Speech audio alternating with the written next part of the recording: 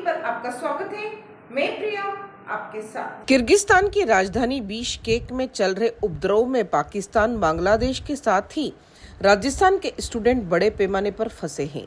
दोसा बांसवाड़ा सहित कई जिलों के रहने वाले छात्रों ने अपने परिवार वालों को वीडियो कॉल करके मदद मांगी है।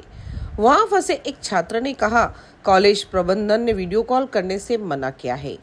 शाम होते ही लोकल स्टूडेंट्स हमला करने लगते हैं। महुआ विधायक राजेंद्र मीणा से सत्येंद्र फागना ने वीडियो कॉल पर बात की।